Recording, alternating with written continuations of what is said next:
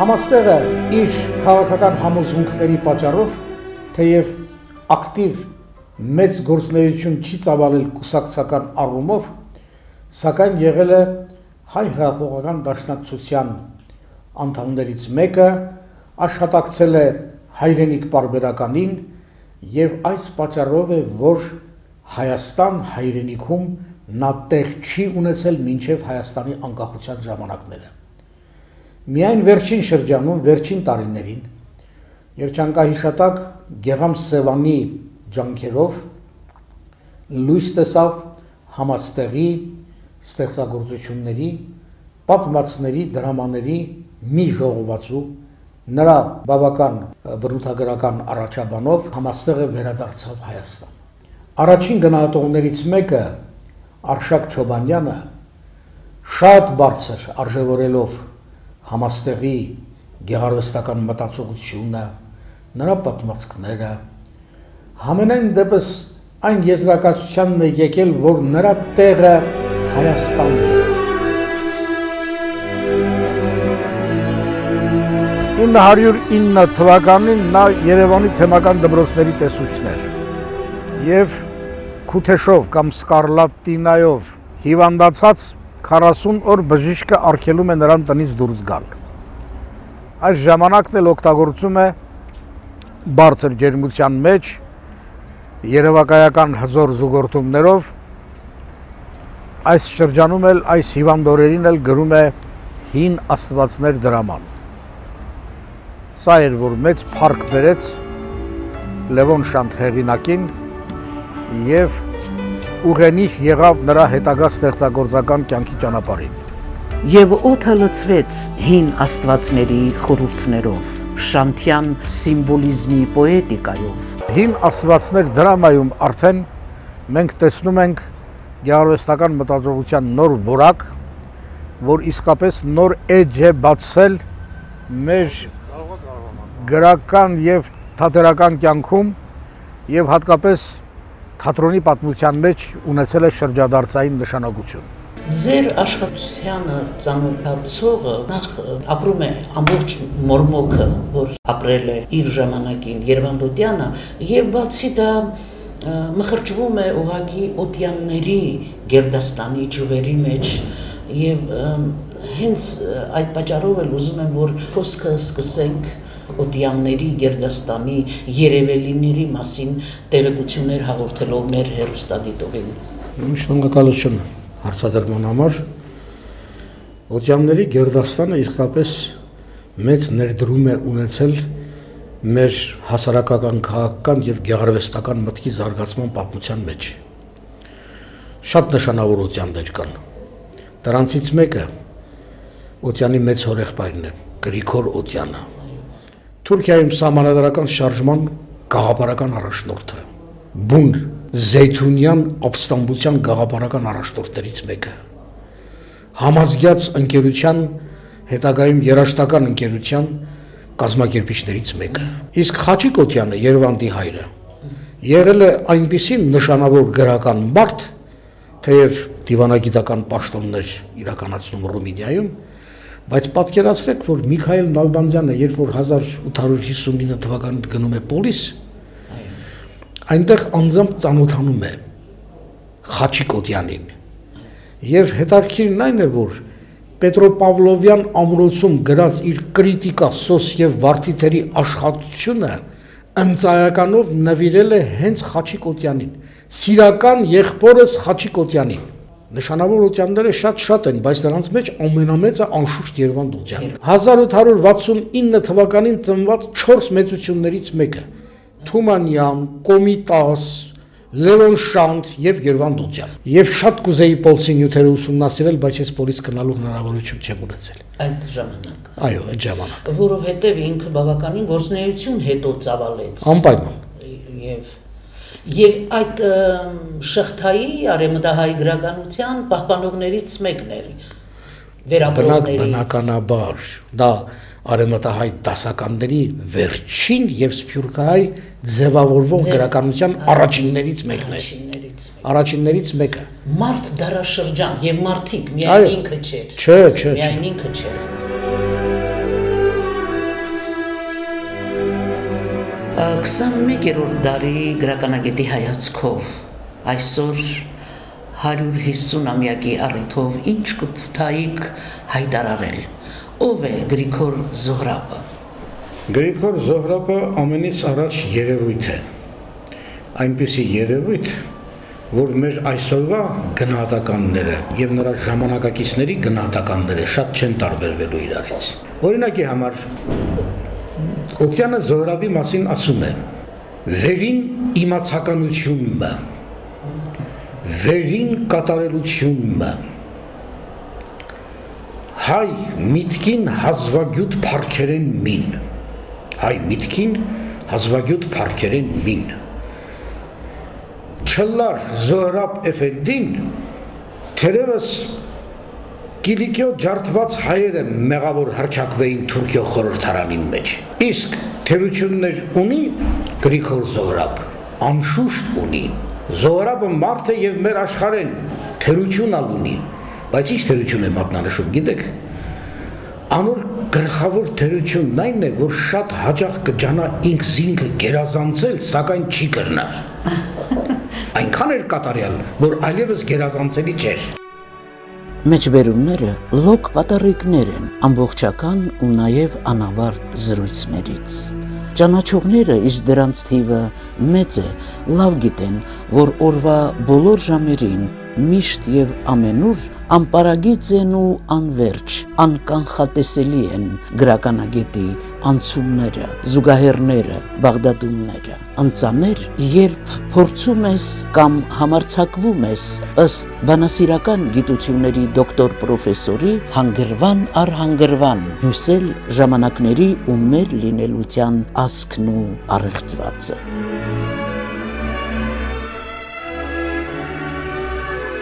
Սամվել Մուրադյան գրականագետը ակնթարթի մեջ կարող է տեղավորել բյուրավոր ձայներ, մեկը մեկին շղթայված, ագուցված, միաժամանակ անջատ ու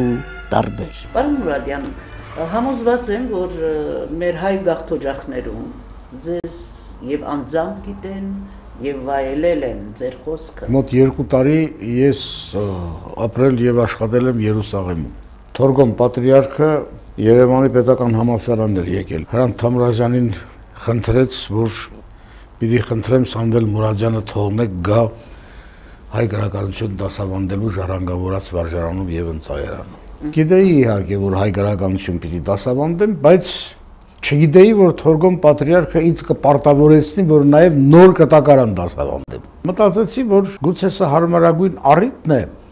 Սուրբ գրքին ավելի մերձենալու, ավելի խորանալու, որովհետև ամեն քայլափոխում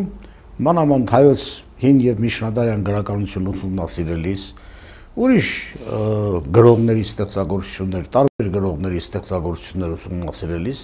ասենք Սայաթնովա, Երվանդ Օտյան, այս հեղինակներին անկարելի է առանց աստվածաշնչի ընկալել, հասկանալ եւ մեկնաբանել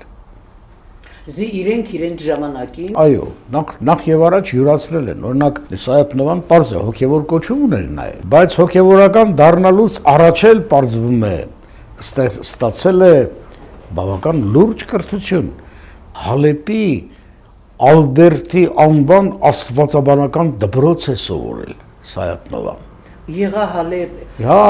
այսինքն ինքը վկայում է։ Ինքը վկայություններ ունի այդ մասին։ Բացի այդ, Նա թուրքերեն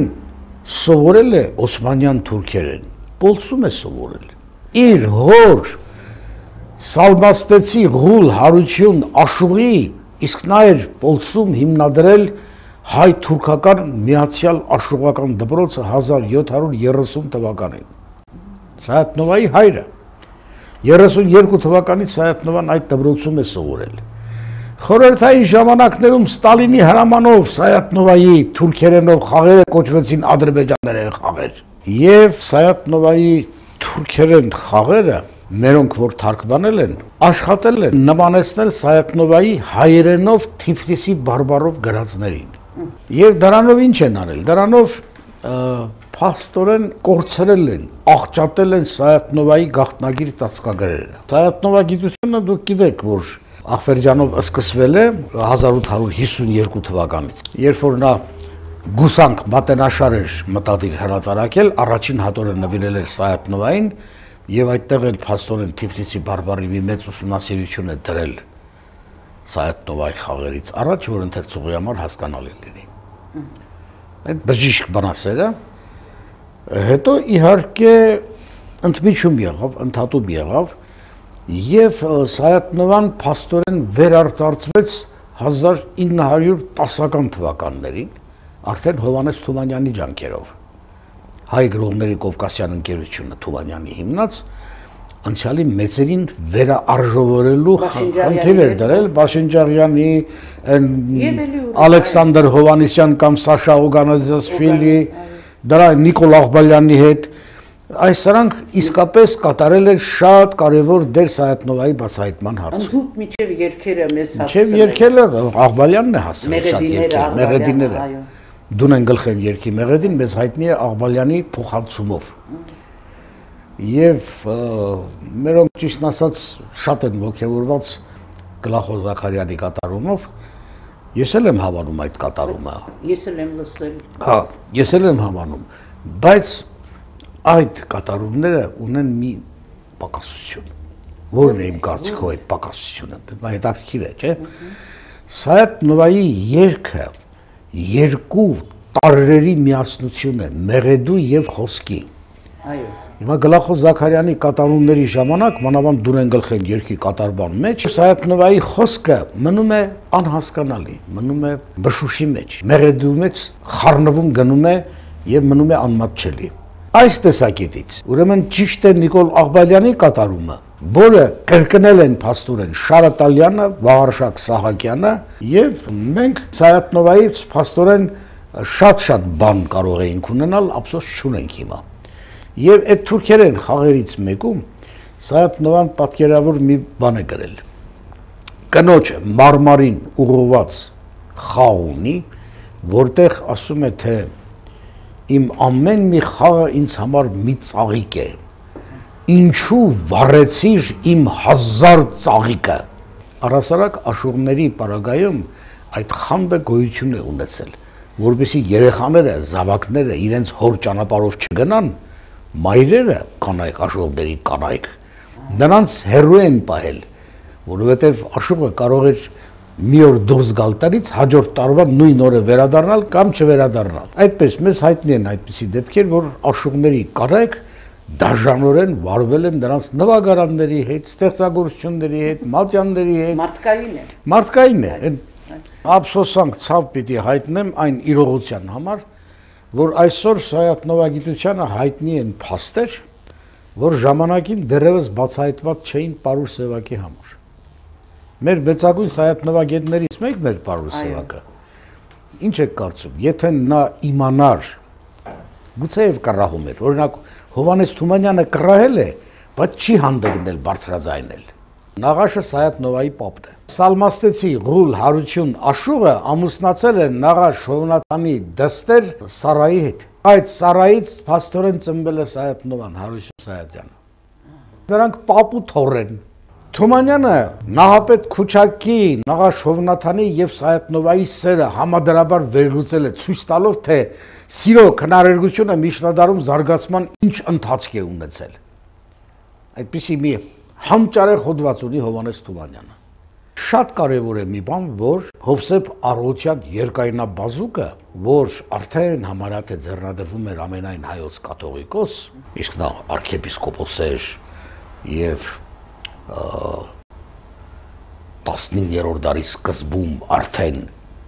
15-րդ դարի սկզբում արդեն համարյա թե արդեն կաթողիկոսի ձեռնադրվելու ճանապարհ ճանապարհին էր այո ճանապարհին էր եւ նրան Թիֆլիսում թունավորեցին սպանեցին ժողովուրդը գիտի թե Սայատնովան զոհվել է 1795 թվականին աղա Մահմեդ խանի արշավանքի հետևանքով մինչդեռ Այ հետարքիր փաստ է։ Այս նույն Հովսեփ Հովսեփ Արգուտյան երկայնաբազուկը նամակներ է գրել Սայատնովային 735-ից հետո։ Ինչ է կարծում։ Մեռած մարդուն նամակ կգրեր Հովսեփ Արգուտյանը 1806 թվին, 1809 թվին,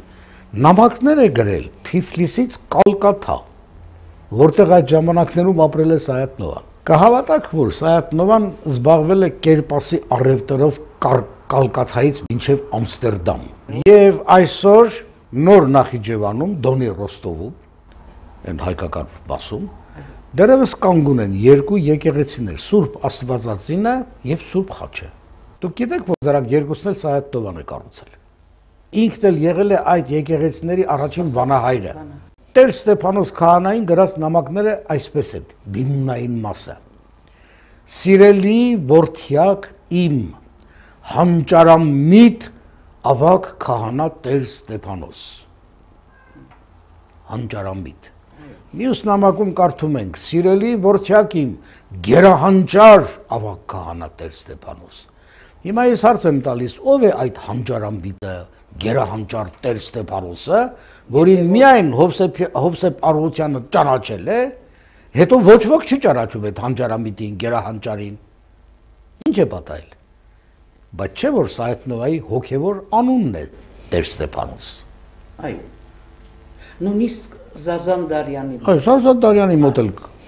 Լյուդվիգ Դուլյանի հետ միասին պիտի գրեինք նոր կենսագրություն, որովհետև նա այն բացառիկ անհատներից մեկն էր,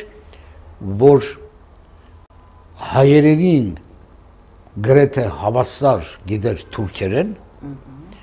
եւ թուրքերենից բացի գիտեր նաեւ պարսկերեն մասամբ գիտեր նաեւ մասամբ արաբերեն, վրացերեն, Օսմաներեն թուրքերեն։ Օսմանյան թուրքերեն, այո։ Բայց ինքը բանից էր, Գետաշեն գյուղից էր, Բաքվի համասարանի տնտեսագիտական ֆակուլտետն էր ավարտել այդ մարդը նա պիտի թարգմաներ Սայատնովայի 130 թուրքերեն խաղերը բառացի։ Դրա ձեռագրերը մնացել են, բայց ինքը վաղճամլետ չհասրեցինք։ Դրա թարգմանություններից է հայտնի, որ այդ կնոջը ուղված իր խաղերը ծաղկի հետ համեմատելու իմ հազար ծաղիկը ինչու վառեցիր եւ այլն եւ այլն այս գաղտնիքը նա է բացահայտել այդ Լյուդվիգ Դուլյանն էր նաեւ մեր մատենադարանում տեսել Նաղաշ Հովնաթանի դավտարի վերջնամասում Սայատ Նովայի ձեռքով գրված 3 խաղ։ Հիմա տեսեք։ Ինչպես պետք է Սայատ Նովան Նաղաշ Հովնաթանի դավտարի մեջ գրառում աներ։ Նախ եւ առաջ պիտի այդ դավտարը իր ձեռքին լիներ, որի վրա կարողանար գրել։ Ընտանեկան ժառանգություն։ Ընտանեկան ժառանգություն է, ամեն մեկի չէին տալիս։ Չէին տա։ Հա, եւ Սայատ Նովայի դասերակները եղել են քերիները։ Հակոբ եւ Հարություն Հովնաթանյան նկարիչները, նկարիչ տաղասացները։ Նրանք են դաստիարակել Սայատնովային։ Հակոբ Հովնաթանյանը։ Այո, այո։ Հիմա դուք տեսեք, մենք քչերի վերաբերյալ կարող ենք ասել, թե նրա բանաստեղծական պատկերն ունի գեղանկարչական հագեցվածություն։ Դուք անպայման դիտած կլինեք Փարաջանովի նկարած Հովնաթանյաններ ֆիլմը։ Թեմանականներում պատկերված են Թիֆլիսի բարձրաստիճան հայ կանայք, գերազանցապես։ Հիմա ինչ եք կարծում, Սայատ Նովայի խաղերում պատկերված գեղեցկուհիները շատ է տարբերվում արդյոք Հովնաթանյանների դիմանկար գեղեցկուհիների դիմանկարներից։ Հիմա հիշեցնեմ Սայատ Նովայից մի բանաստեղծություն կտեսնես, որ դա գեղանկար չի գրած է։ Հապա։ Պատկիրքդ գալամով քաշած թահրդ ռանգե ռանգի սանում Երեսիդ խալն ծածկում է մազիրդ ղափանգիսանում, բացվիլիս կարմիր վարդի պես բլբուլի հիտ հանգիսանում, ակրեքդ օսկում են շարած պրոշըտ մահանգիսանում։ Իրոք մենք տեսնում ենք դիմանկար, բայց բարերով։ Բարերով արտահայտված եղանկար։ Այդպես էր նաև Դանիել Վարուժանը։ Դանիել Վարուժանը ընկերոջը Դերերիկ Ջիզբեչյանին 1905 թվականին նամակ է գրում եւ այդ նամակի մեջ ասում է երկու միջավայր առանձնապես ազդացեն վրաս. Վենետիկ յուր տիցյաններով եւ ֆլանդեր յուր վանդեյկներով առաջնին ասում է առաջնույն գույների ճոխությունն ու շքեղությունը եւ վերջնույն բարբարոս իրապաշտությունը բարբարոս իրապաշտությունը զորացուցին քնարս հիմիկ ասում է Վարուժանը կրնամ բարերով նկարել առանց վրցինից գործածել քիտնալու։ Այսինքն այդ բարերով նկարելու արվեստը նախապես տիրապետ արվեստ։ Հա, այո, այո։ բարերով նկարելու արվեստին նախապես տիրապետել է հենց Սայաթնովը։ Էլի հասանք Թումանյանին, ով ժամանակին քննելով Սայաթնովայի երկերի բնավորությունը ընդգծել է, թե ինչ էր մեծ սիրահարը, բանաստեղծը, աշուղը հորդորում իր սրտին, աստված սիրե, հոգի սիրե, յար սիրե եւ ուներ մեկ համոզմունք. Ինչ էլ անցնի աշխարի գլխով մեկ է աշուհի լեզուն օրնանք ունի ճունի անեծք այս լույսի ներքո էլ բանաստեղծ աշուղը նայում էր աշխարին մնում անչար վեհ սիրով դեպի են զալումը աշխարհի աշխարհ անցավ Սայաթնովան զայրացավ բայց երբեք չչարացավ ցավեց բայց երբեք չանիծեց որովհետև խոսքը ոգեղեն էր եւ աղերսներով մեր ձեր նարեկացում։ Հետո իհարկե Երուսաղեմը նպաստավոր եղավ ինձ համար այնքանով, որ ես կարողացա օգտվել դրանց Գյուլբենկյան մատենադարանից, որ գրադարանի վերջի վերջը, մամուլ կար այնտեղ հայկական մամուլ, հայատար մամուլ, որ համարյա չէր գործածվում վերջին շրջանում, բայց ես այնտեղից կարողացա հայտարարել շատ դյութեր Երևան Դոզյանի վերաբերել Եվ այդտեղ էլ գրեցի Փաստորեն Երևանդոցյան մենագրությունը, որ դարձավ դոկտորական ատենախոսություն։ Փաստորեն այնտեղ ձեզ համար հայտնաբերեցիք բոլոր կողմերով Երևանդոցյանի։ Այո, գրքում մի նախադասություն էի գրել, որ բոլոր ընթերցողները հավանել էին մինչև անգամ այդ եղերնա դժողքի պատկերները, որ որի մեջ ես ներկայացրել Երևանդոցյանին, գրել էի թե Երևանդ Օտյանն այս ամեն Երևանդ Օտյանն անցել է այս ամենի միջով եւ այդ ամենն անցել են Երվան Դոդյանի միջով։ Դա շատ դաժան։ Դաժան, բայց ճշմարտությունն է։ Հանրագիտակ զրուցակիցս, երբ պատմում էր անշրջանցելի գրական ու պատմական փուլերի, իրական մեծությունների, նրանց ճակատագրական ու դրամատիկական հանդիպումների մասին, այն տպավորությունն էր, ասես հենց նրանց ժամանակակիցն է եւ գալիս է այն օրերից, որ տալիս են իրեն թե հուր, թե սեր, թե խնդություն։ Եվ այնուամենայնիվ ո՞րն է նրա ներշնչանքի կամ անսպար երանդի տարաշխարիկ, այո, տարաշխարիկ ակունքը քննադատի սկզբունքայնությունը, գրականագետի խորքային իմացությունը, վերջապես մեր գրականության քարուղիների հատույթներում բանիվ եւ ձայնիվ ինչ է որոնում գրականության պատմաբանը, գրաքննադատը, գրականագետը, գրի մարդը։ Պատասխանը ոգեղեն տքնանքով, կոչումով երկնած նրա գրքերն են, ուսումնասիրություններն են, որն այլ կերպ իր խոսքն է, հայ հավաքական հանճարի արժևորումն ու գնահատում կողմն է։ Ուրեմն Սամվել Մուրադյանի միջնորդությամբ վերստին ճանաչենք մակարոնների ճանապարհի մեր ուղեկիցներին։ Մեսրոպ Մաշտոց, Սահակ Բարթև, Մուշեղ Մամիկոնյան, այսօր եւ ողջամիտ հայացքով վերընթերցենք Ռաֆու Սամվելը, գրականագետի ուղեկցությամբ նորովի ընկալենք ավարայրի խորուրդը վայելենք արևելքի գոհար շնորհալու վրցնած մերձավորների համար հույժ սիրելի եւ հերավորների համար փափագելի շքեղ անին հազարանվակ հազարաթև կարոտով Կրծքիս սեղմեմ բերթերը սավեր բուերի տեղ սոխակ դառնամ դարած երկու վարդի քաղաք տեսնեմ անին ու նոր մեռնեմ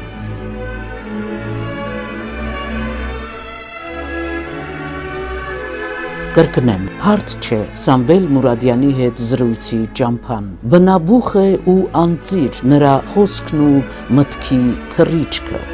Ավելին, բացահայտ է ու խորքային գեղագիտական դավանանքը եւ բազում են գրական սերերը։ Դե իմ սերերը հայ գրականության մեջ շատ են։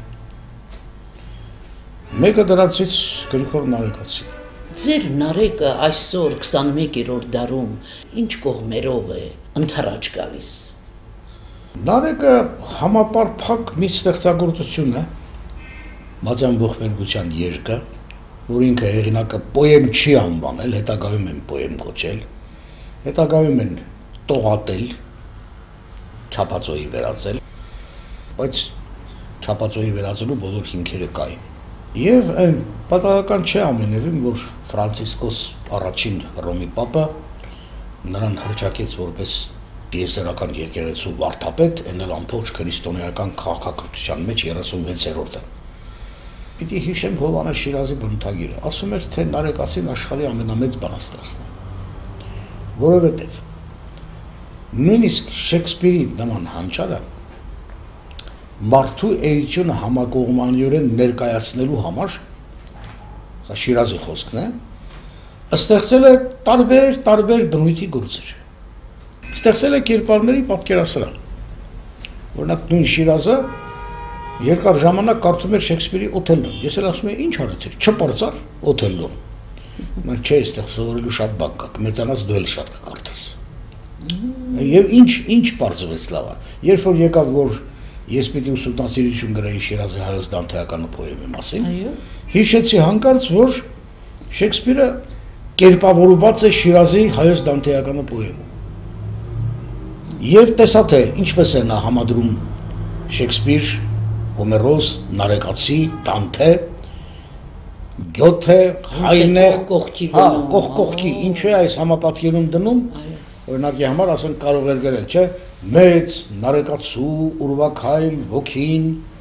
ու մեծ Դանթեի ոգին ուրվակայլ համակայլ ինչպես իմ աչքն իմ աչքին Շեքսպիրի հետ ընթանում էին արջևից մռայլ ու տանում էին մեր ոգեխմբի այրերին բոլոր հայ գողգոթայով վայով ցույց տալիս կոտորածների եղերնադաշտերն հազարամռայլ ուր հովերն էին մորթված հորովելն հիշելով լալիս։ Թվում է մարդ չի գրել, գիտեք։ Մարդու բան չի սա։ Իրոք այդ պահին Աստված թելադրել է նարեկացու ստեղծագործության մասին, եթե մենք ծավալվենք, դա երկար կտևի, եւ եւ կդրոշնվի դռներին բանականության, բայց երկու կարևոր բան։ Եթե մենք ասում ենք նարեկացու ձգտումը, մարդու մարդկայնացումը եւ աստվածացումն է, մեղավոր մահկանացու մարդուն երկրային մեղքերից կտրելով կատարելության ճանապարհով տանել դեպի աստվածային բարձունքներ, ուրեմն պետք է իմանանք նախ եւ առաջ թե ինչ է Աստված նարեկացու ըմբռնումներում եւ ինչ է մարդը։ Արդյոք դրանք միասնական չեն, նույնը չեն։ Այն երկփեղկումը, որ ներկայացնում է նարեկացին, դրանք տարբեր էություններ են, տարբեր գոյություններ են։ Մեկը կատարելությունն է, Աստված կատարելության խորհրդանիշն է կամ չափանիշն է, մեղավոր եւ մահկանացու մարդը ձգտում է այդ չափանիշին հասնելու։ Այսինքն ճիշտ այն երևույթն է, որ նարեկացին ինքն էր ջանում անել։ Այսինքն ուզում էր հերավոր, անտեսանելի Աստծուն անընդ գրկելի հերավորից ուզում էր դարձնել անընդ միջելի մերցավոր մարդու համար։ Իսկ դա հասկանալու համար մենք պիտի տեսնենք, օրինակ ասենք ողբերգության Մատյանի գլուխներից մեկում բան թյում կա Աստծո նարեկացիական ըմբռնում։ Տեր, բարքեվատու, ինքնաբուն, բարի, միակ, ճշմարիտ, արարիչ, նամենայն ինչի, անմերձենալի, անտեսանելի, անպարագրելի, անշոշափելի, անշամանդաղ գիտություն, արփիա ցնցող ցող, անապական անձրև, ըստրկան մեծար թակավոր, աղկատասեր պաշպան, անդավազելի գանձ, անպակասելի շնոր, մշտահարուս տվող։ Սա է Աստված։ Աստծուն դարեկացիական ընկալումը սա է, ըմբռնումը սա է։ Հիմա մարդուն, որ պիտի հասցնի այս մակարդակին։ Այո։ Մարդուն ինչպես է ներկայացնում։ Ամենաժամանակակից բանաձև, որ դարեկացին ստեղծել է 10-րդ դարում։ Ամենաժամանակակից բանաձև։ Հəl տեսեք այսօրվա մարդը ինչպեսին է։ Տարբեր է արդյոք նարեկացու ասածից։ Փախստական քարավեժ դռնապան քնկոտ, պանսարկու падգամավոր, արփեցող պաշտոնյա, շվայտ վաճառական, քահանա անկնդրուկ, օրենուսույց աննվեր, արքա արտալած, թակավոր թարմատար, կայսր հոգեկործամ, իշխան տիրադավ աչարու դատավոր ինքնագլուխ ռամիկ։ Օ, թրատում է։ Այո, Այո։ այո։ Եվ էս է, այս Շիրազը հենց սա նկատի ուներ։ Ասում էր Շեքսպիրը ստեղծել է բազմաթիվ բազմապիսի հերոսների պատկերասրահ, իսկ Բարթու էությունը պատկերելու համար Նարեկացին ստեղծել է ընդամենը մեկ քնարական հերոս, որի մեջ Շեքսպիրյան բոլոր հերոսները կան։ Եվ որի համար է հեշտ մեկ քնարական հերոսի միջոցով արտահայտել ամբողջը, ինչպես Նարեկացին ինքն է ասում, ես եմ համայնը եւ ամենքինն է պարփակված իմ մեջ։ Հե, այս մեծ եւ գեղարվեստական եւ փիլիսոփայական ընդհանրացման ամենամեծ բանասերն է սա։ Աստծու մերձ պիտի լիներ այդ ամենը ապրելու Բնական է, որ իրոք նարեկացի բանաստեղծով է սկսվում մեր չափածող գեղարվեստական մտածողության զարգացման հետագա ամբողջ ընթացքը, ամբողջ պատմությունը։ Այոնա Գուրգեն Մարին